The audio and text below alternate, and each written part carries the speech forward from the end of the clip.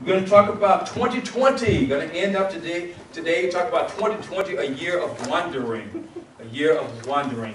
And I want to go with Jeremiah chapter 29, verses number 11 and verse number 13. For I know the thoughts that I think toward you, says the Lord, thoughts of peace and not of evil, to give you a future and a hope. Then you will call upon me and go and pray to me, and I will listen to you, and I will seek, and you will seek me and find me, and when you search me with all your heart. That messed me up. a year of wandering, 2020, a year of wandering. The scripture says, for I leave that verse up for a moment. I'm going to go over a little bit here. For I know the, the thoughts. In other words, it says, I know the plans in some versions. I know the plans I have for you toward the Lord. He says, thoughts of peace and not evil. Thoughts to give you hope in the future. So God's plan is always about our best interest. To give us hope, to give us a future, to give us peace, and not harm. That's God's plan.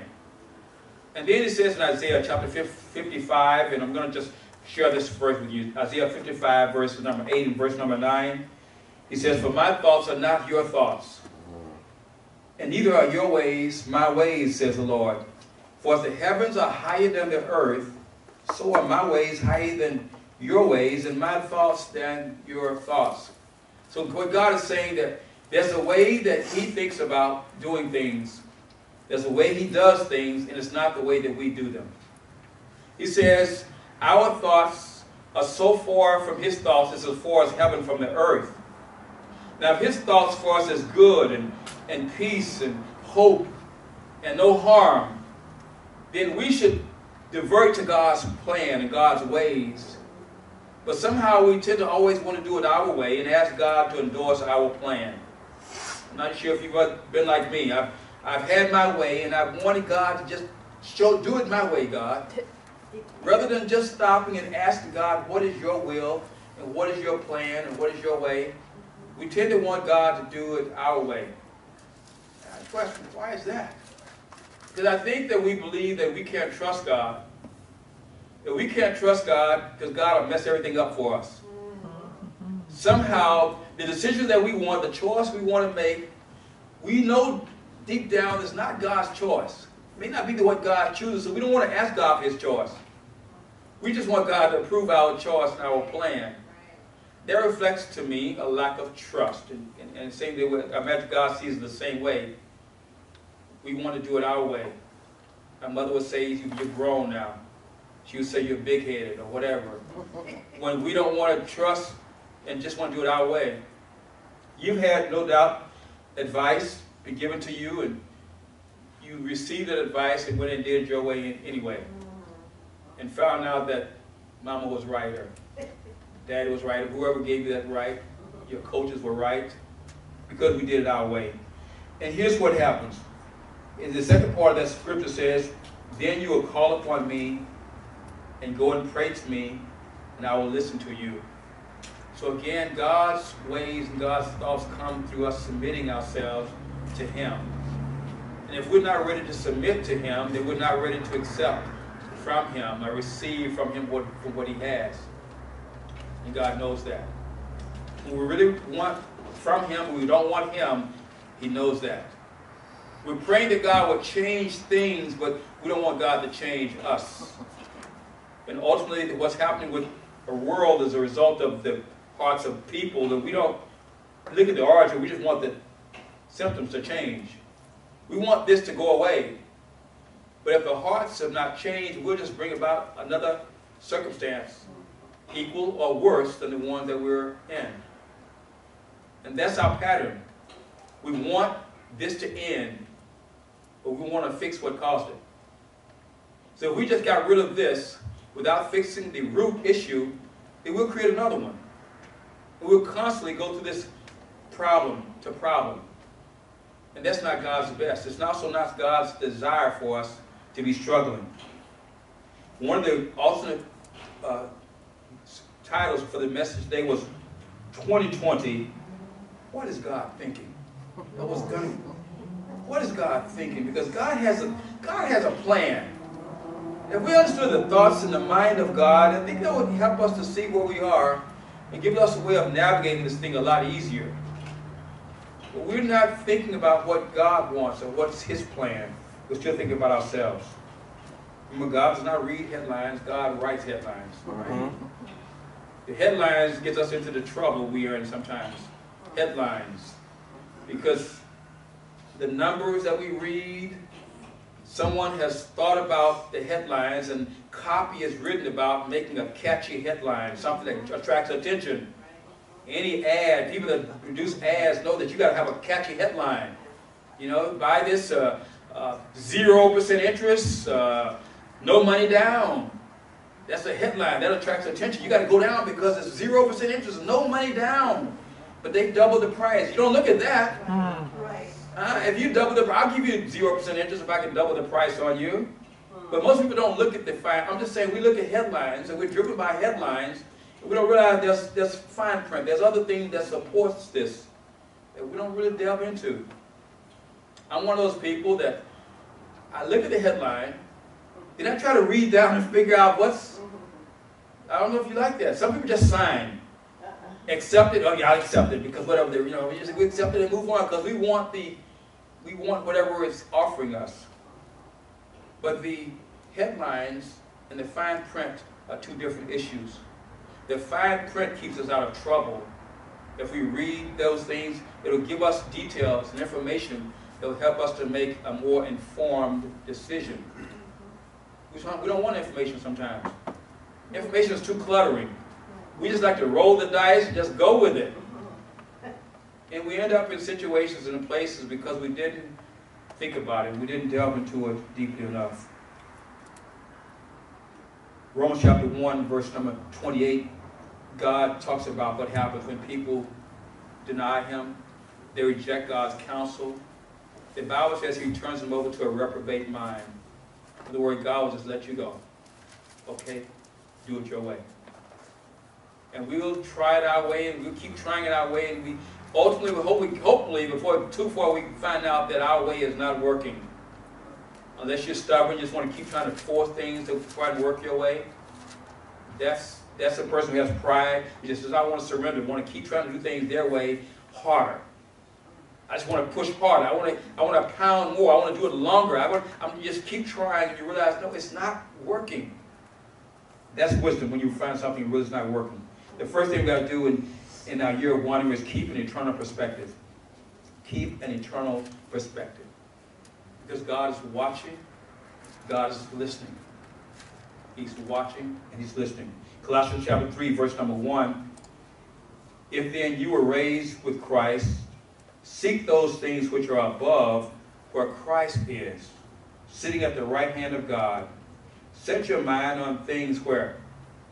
Above, not on things of the earth. He's telling us, set our minds, our thoughts on the higher things, not on things of the earth. We're so drawn and captive by what we see and hear. That's our senses. The most deceptive part of our being is our senses. We often are deceived by what we see and what we hear. We've gotten away from what we feel and what, what, what our spirit tells us. We've kind of gotten away from that discernment. We like what we see, we believe what we hear, and we go with that majority. And it's easily, we're deceived by that. He says, but our minds should be on things that are above, going beyond what we see, beyond what we hear. Those things that are above.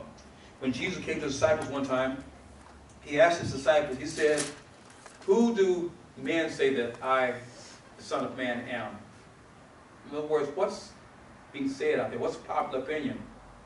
They say, well, some says you're John the Baptist come back to life. Some say you're Elijah or one of the prophets, and they're giving all this stuff about what, the, what is, what's being said about him.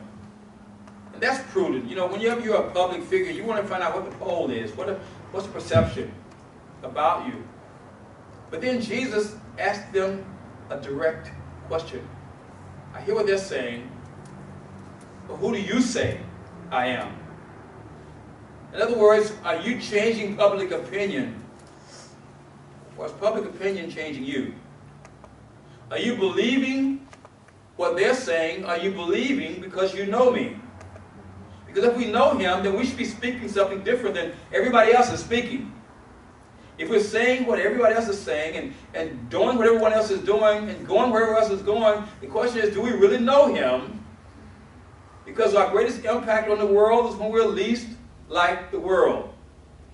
When the world is going left, we should be looking at, okay, let's just see if God's leading us another direction. We don't just tend to follow because they say and hearsay.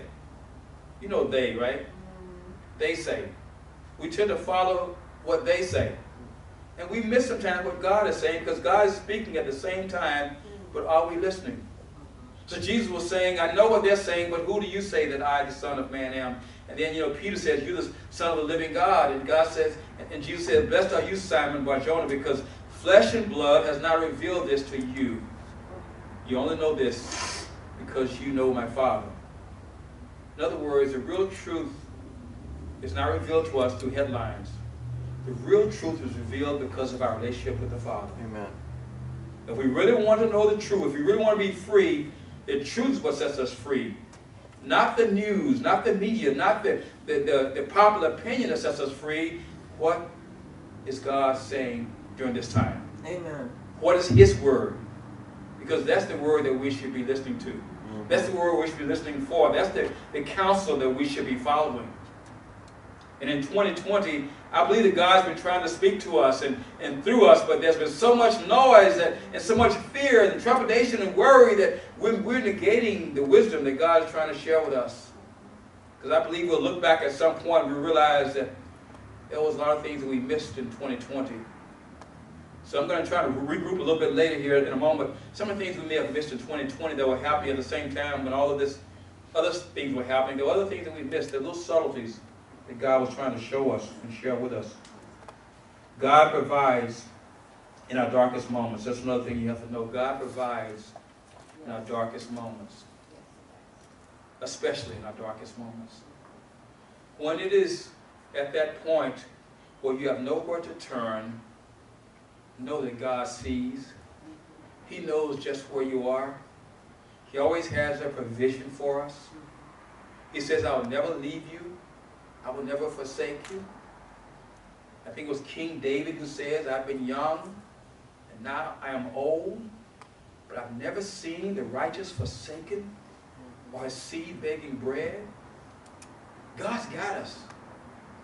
We've got to stop sometime and realize where we are, who we are, and whose we are.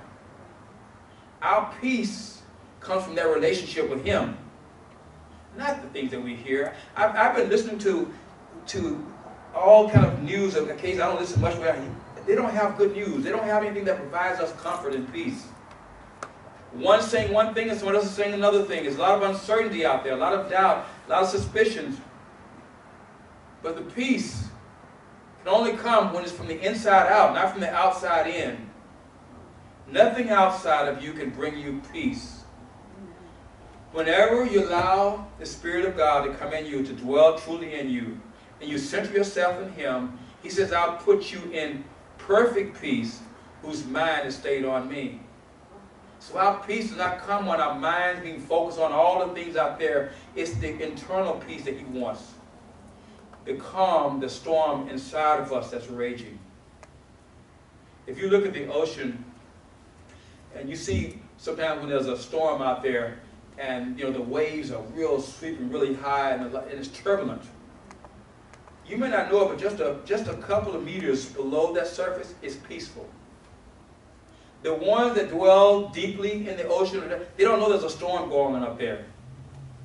The storm is going on for those who's terrified by storms. If you go deeper than your storm, you'll find the peace is in the depth. The peace is not living on the shadows and on the fringes of everything that's going on. If you're outside in a storm, it will terrify you because you're in a storm. You can go somewhere where there's peace and get inside somewhere, and the further you go, the more peaceful life is. We had a basement in one of the homes that we had, and the kids, whenever the lights would go out, or there'd be a storm, or something's happening, they would get out into the basement. And they just loved being in the basement. It'd be dark in there. And to them, that was the most peaceful place. They just, they, I asked them, they still remember being in the basement. I mean, even though there's, there's stuff going on, even when the lights would come back on, they still, no, we just stay down here in the basement. It was just like there was something about the peace. I'm saying that enduring times, draw nearer to him. He says, draw nearer to me and I will draw nearer to you. Go to that place during this time where you can find peace. We need a Bethany. We need a place where we can surrender to. When the whole world has lost its mind, we need to find a place of peace. Yeah, Amen. We need to find that sanctuary, that place where we can go and commune with Him, and He gives us that peace. And then you walk out of there with a whole different mindset. I feel badly for those who don't find peace, who can't find that place of peace like that. Because the world can't give you that peace. And the peace that the Lord gives you, the world can't give you. But here's another thing. The world can't take it away. Right. Amen. The world can't take away your peace. Amen. All right? Amen. The world can't take your peace away. In the midst of all of your storm, your trouble, and all this going on, you just have peace. You know, where's you, you're looking at the same thing. You're living in the same world, but your world inside is that you're at peace. And that's what he says, I bring you. Jesus says, my peace I give to you. John 14, 27, he says, my peace I give to you. He says, not as the world, my peace. So we got we got an option. We can try to go with the peace that the world provides, or we can have that perfect peace that only comes in communion and relationship with Him. I say we need to dwell in peace. There's, there's uh, two options that we have in peace. We live in peace, or we rest in peace. Oh. Let's live in peace. Uh, is that right? You agree with me? Let's live in peace. No, I don't want to be saying, oh, he looks so peaceful. No, I don't want to be like, no. I want my peace while I'm living. Thank you very much. How was he? You, I would think, oh, he looks so peaceful. No. Huh. I want to have my peace now. So he says, I give you perfect peace. Perfect peace. That passes, he says, all understanding. That's another thing about that peace. He said, peace that passes all understanding, which means there's no reason why you should have peace. There's no reason why you should be you should be in, at peace and, and okay with everything, but you have peace. I told you before, I, I've seen homeless guys, I watch guys that are homeless, people that are homeless, and I always have a moment for them. If I, you know, if they're sitting around, I go and take a moment, sit around, chat with them. I find out they have more peace sometimes than people that I know. Sitting there, they have nothing. One guy was pushing his cart, he was singing, just having a good time. I'm like, man, what is he? I want to go, I want what he's got. You know, whatever he's got, he doesn't have the worry and the issues and the trepidation of the world. He may not have all of the other things that we think that we should have, but sometimes there's a peace that you've got to give you in the midst. I'm saying in the middle of a circumstance, you can have peace. You can have peace. A diagnosis, but you got peace. Maybe going through financial problems, but you got peace. Maybe you have loved ones that have passed on, or you're going through issues in life, but He'll bring you peace. My mother went home to be with the Lord. You know, she was struggling for a while, and we watched her decline. And when my brother called me that morning, he said, Mom went home to be with the Lord this morning. And for a split second, I started to kind of get into this mode, you know, the loss, the grief, and other. And then peace came. Peace.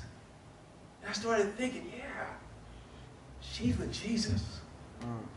And my peace came from dwelling on that which is above, which is not about me, knowing that she's with him. No more suffering, no more pain. We're not dealing with that anymore. She's in a place that we all hope to be at some point. So my peace came from having a different perspective than the world perspective. Because the world perspective is like, oh, I just lost my mom. You know, I mean, I'm, I'm not negating, I'm not minimizing anything like that. You go through that, everybody grieves differently. Yes. But my peace, that peace brought me out of that. Mm-hmm. I had to have peace that she's in a good place. Mm-hmm. That I had this, I had all those years with her. That God gave her to me. And I and I had to be thankful and grateful for that.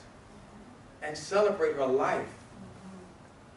Sometimes people are never the same after a loss. They can never have peace again because of something that, some setback. Maybe it's a loss of a loved one, maybe it's some issue, a divorce, uh, bankruptcy, losing all that money, whatever. Some people are never the same again because they can never have peace about it.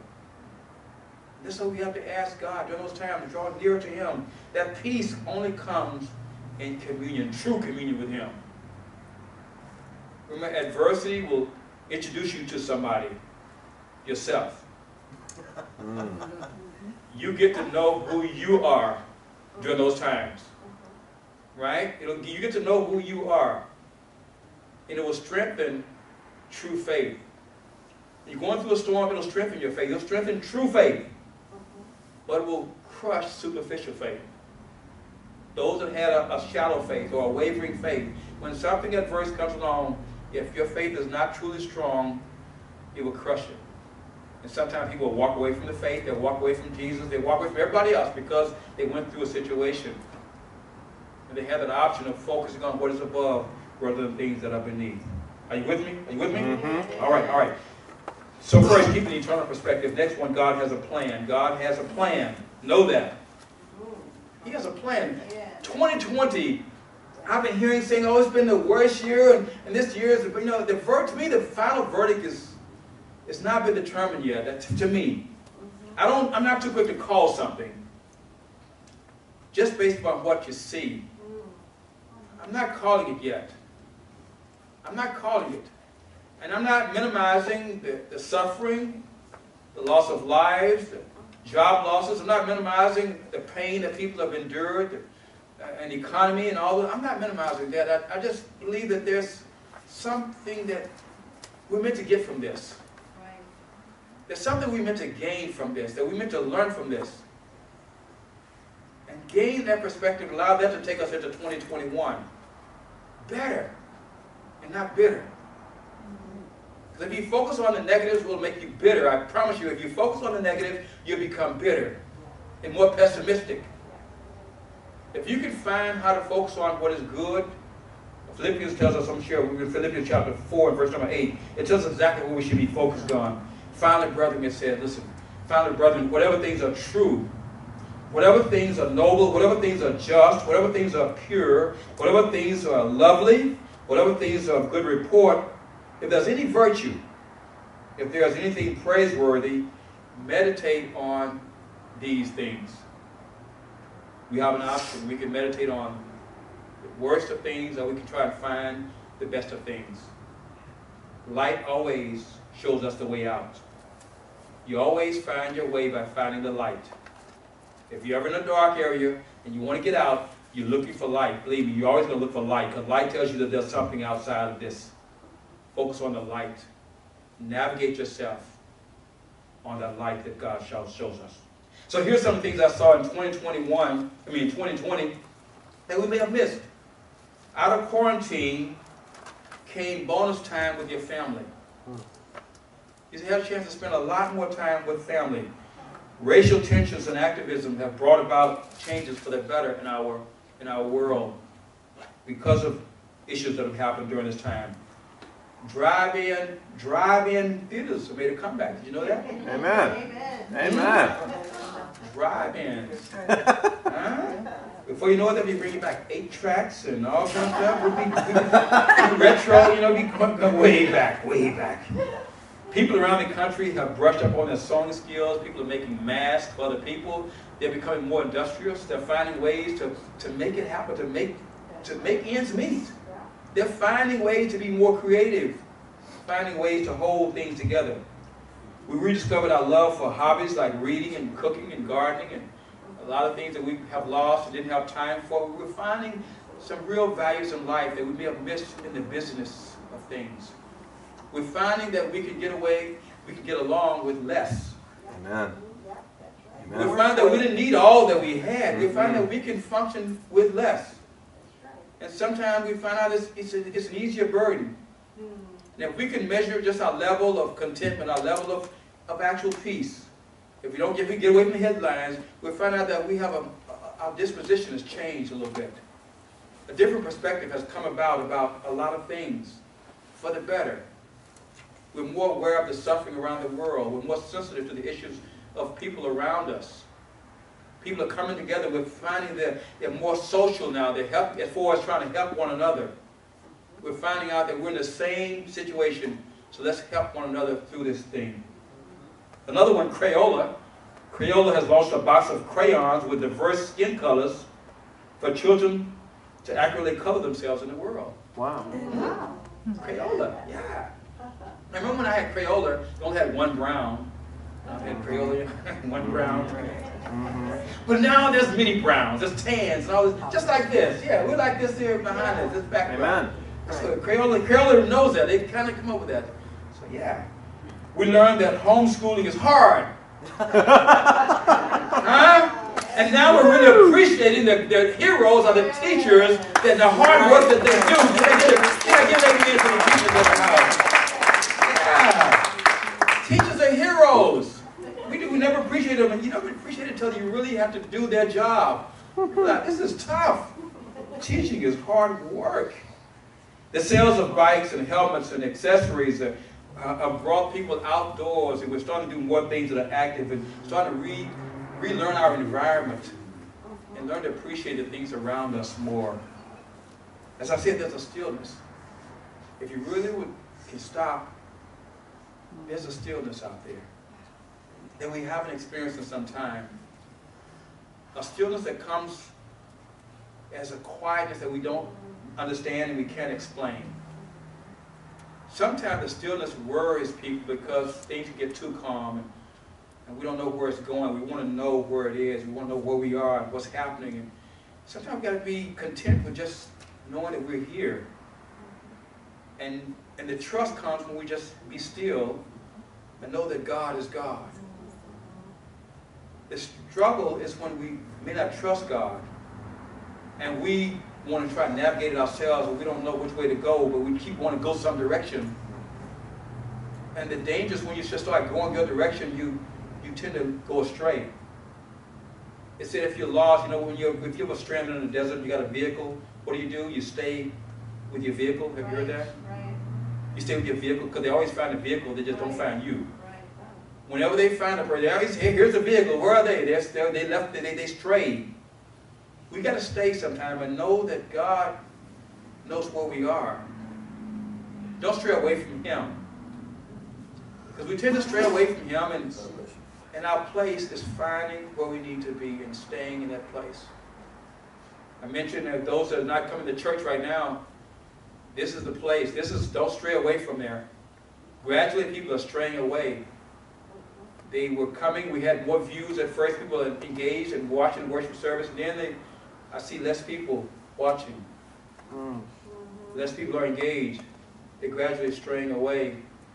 It's a shifting that happens. And it's so subtle that we're not aware that we're, we're shifting. We believe that we're there. We still, everything's the same, but no, no, we're gradually shifting away. Using the idea of the radio station, when you, when you get away from here, I went to Tucson this week, the radio station here was once, but when I got to Tucson, it was a different radio station. It was K-Love here, but as I got to Tucson, it was, it was uh, public radio. Same frequency. But when I get around Picacho Peak, you know, you're going through there, and I go, that's when you start fading out, you know, and something else starts coming in, you're gonna get on the other side of Picacho Peak, you know. Same frequency, different, different format.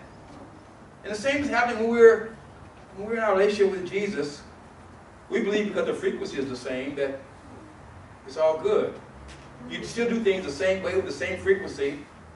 I do the same, same amount. Sometimes when your heart gets away from Him, the format changes because your heart changes.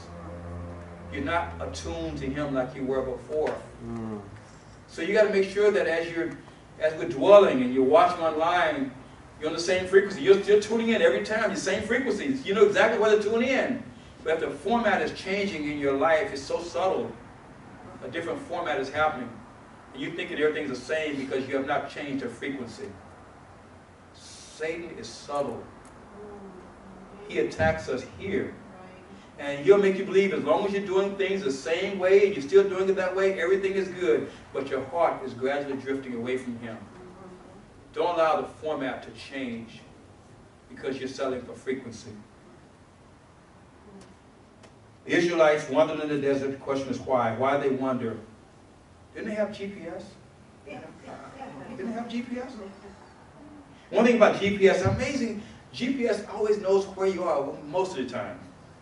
No, where you are. i have never been lost now they have GPS. I wonder, how did I function with before GPS? How could I find my way home? I mean, even when I'm out, I just say, take me home. GPS would say, directions to home. And they'll just give you, turn here, turn right, turn left. Give you exact directions. GPS. Wouldn't it be great if, if they had GPS in the wilderness? But they did. It was God's positioning system. God's positioning system. See, God knew exactly where they were. Even though they thought they were lost, God knew exactly where they were. And if they would trust Him, He was navigating them exactly in the way they needed to go. But the issue happened was they didn't want to trust Him because it didn't feel like the right thing. They didn't like the way that God was doing things. They didn't like the menu, but God was serving them. They wanted more. They remembered the way it was. They kept going back and comparing with God. Now that we were with God, it seemed like it was better when we were over there. We were slaves. They kept going and they kept rejecting God. And over and over they were doing this as God was trying to lead them to this place that He was promising them. See, with all the grumbling and complaining that was happening, they were going to take that into the promised land. See, if, if you have this inside of you, this grumbling and complaining, this doubt, this fear, this worry, no matter how much changes, there's still going to be what you're going to see. You're going to see issues. Beauty is in the eye of the beholder.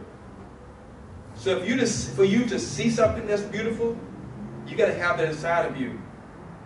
The most wonderful, the most beautiful thing that you can find, you will not know what you're looking at. You will not be able to receive it if you don't have it on the inside of you. I don't have a big, huge appreciation for art because I, I don't I don't know the difference between one piece and another piece. And here's an interesting thing. One, one person was carrying a piece of art uh, flying to, to, I think to England somewhere, and he lost it at the airport. That the art was worth $340,000, this piece was valued at. You know where they found it? In the trash. They found it in the trash. That someone saw this and said, what is this? I don't know. And sometimes God's looking at us and saying, if you can't appreciate what I'm giving you, right.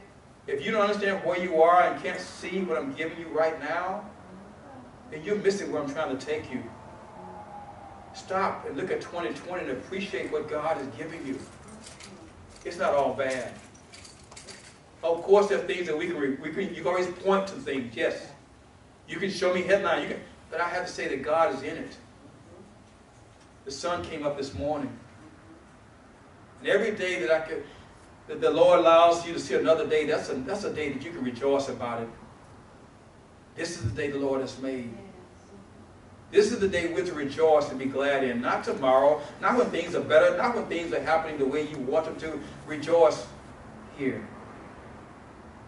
Not for the suffering, rejoice in the suffering. In all things give thanks.